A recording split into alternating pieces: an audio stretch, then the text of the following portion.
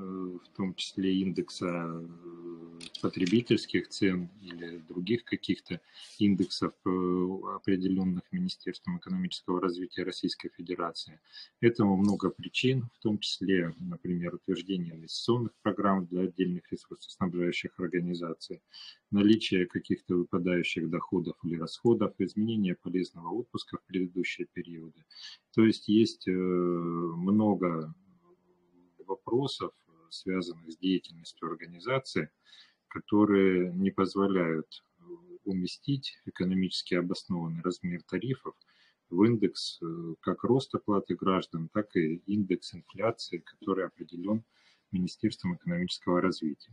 С этой целью э, уже более 10 лет действует мера на территории Российской Федерации, которая ограничивает рост платы граждан, э, чем, э, еще раз повторюсь, э, дает возможность населению уверенно смотреть будущее, знать, что выше, чем на уровень инфляции, тарифы на коммунальные ресурсы на территории области, на территории их населенного пункта не поднимутся. С этой целью ежегодно издается распоряжение правительства Российской Федерации, которым определяется средний индекс роста платы граждан за коммунальные услуги по всем субъектам Российской Федерации. Эти показатели тоже разные, зависят э, в том числе и от предложений субъектов. Некоторые субъекты завышают, заявляют предельный индекс роста с превышением уровня инфляции – Ростовская область, как правило, заявляет предельный индекс роста на уровне того индекса, который формируется Министерством экономического развития в целом по Российской Федерации. В прогнозных сценарных условиях такой индекс составлял 9,8% с 1 июля 2024 года.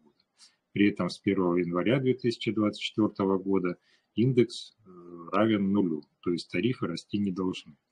Все эти э, моменты выдержаны э, в Ростовской области, и на 2024 год уже вышло распоряжение правительства Российской Федерации 10 ноября 2023 года за номером 3147-Р Этим распоряжением средний индекс роста платы граждан по Ростовской области определен в размере 9,5%. И кроме этого э, определен, э, определено предельное максимально допустимое отклонение по отдельному муниципальному образованию в размере 4,9% на 2024 год. В связи с чем э, некоторые горячие так сказать, люди и комментаторы, увидев это распоряжение, сразу пришли к выводу, что по Ростовской области тарифы на коммунальные ресурсы с 1 июля увеличатся на 14,4%.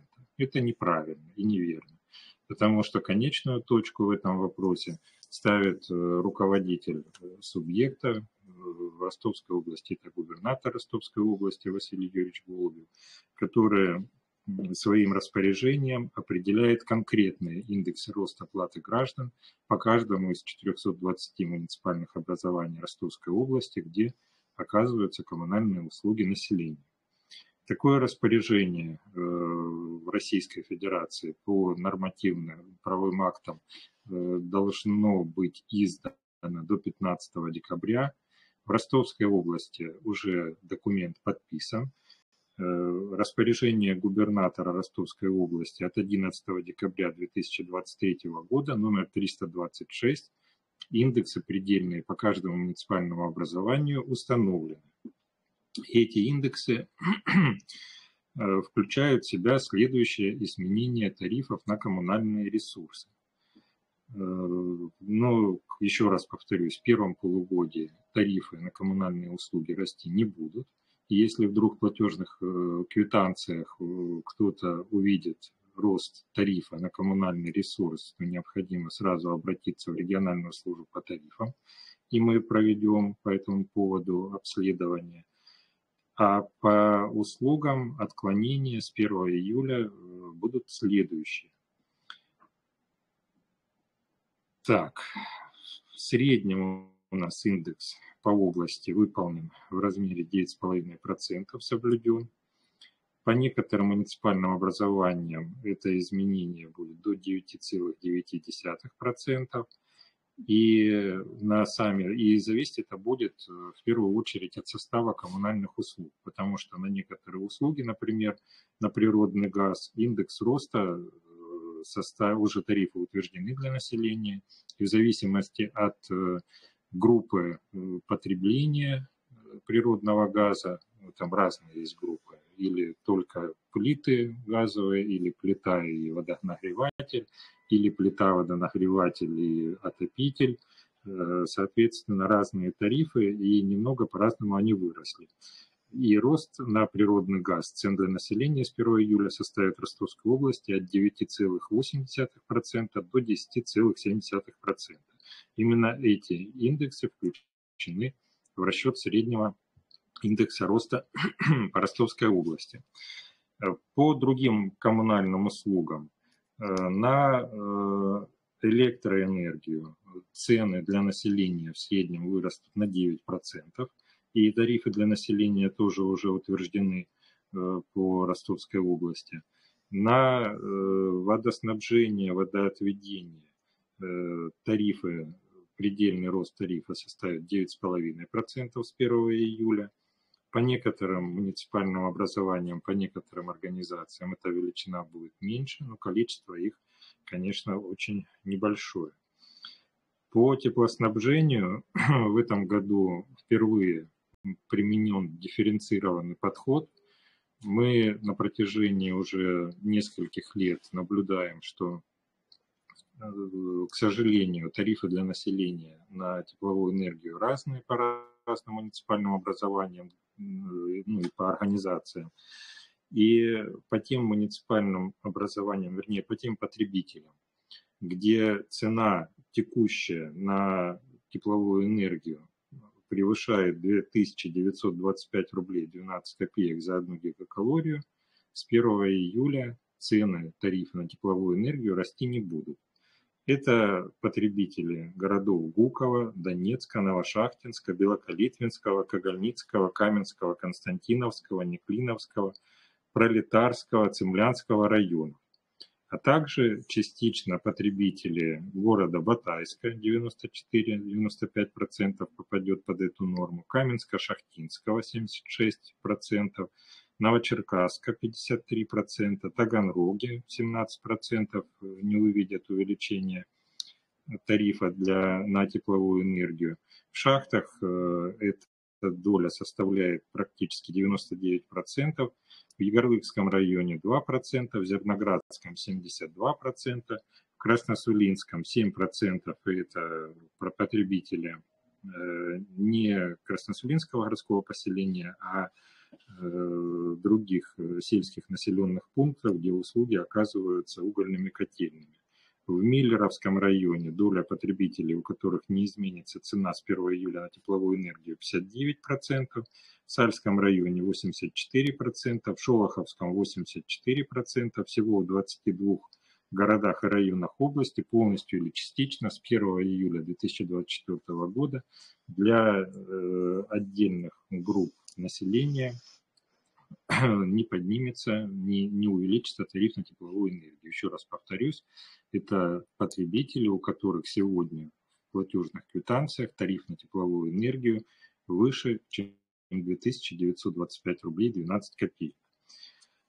Но, э, наверное, стоит сказать о том, что кроме этой меры защиты есть еще несколько мер защиты э, населения э, от э, высокой тарифной нагрузки. Ну, во-первых, это адресные социальные выплаты тем потребителям, у которых совокупный коммунальный платеж превышает 20% от совокупного дохода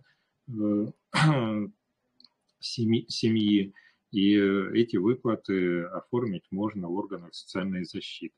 Также на территории Ростовской области продолжает действовать выплата, адресная социальная выплата на, по тарифам на, в сфере водоснабжения и водоотведения.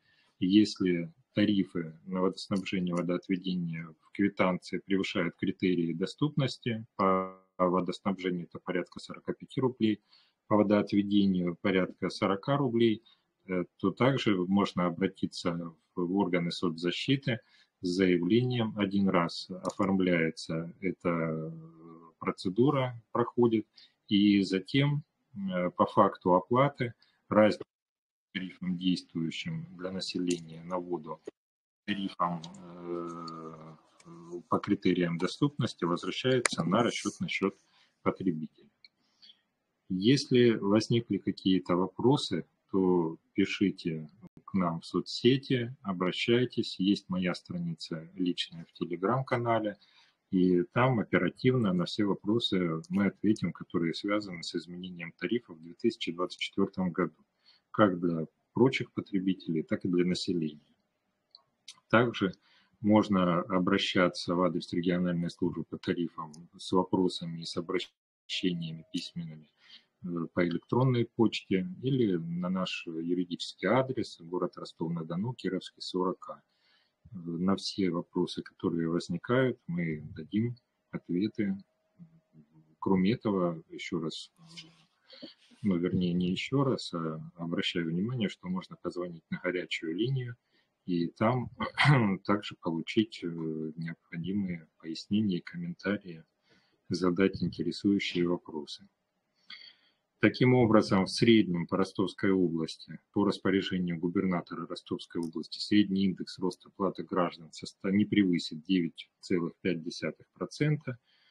По видам услуг еще раз повторюсь, на природный газ цена в зависимости от группы потребления вырастет с 1 июля от 9,8 до 10,7%.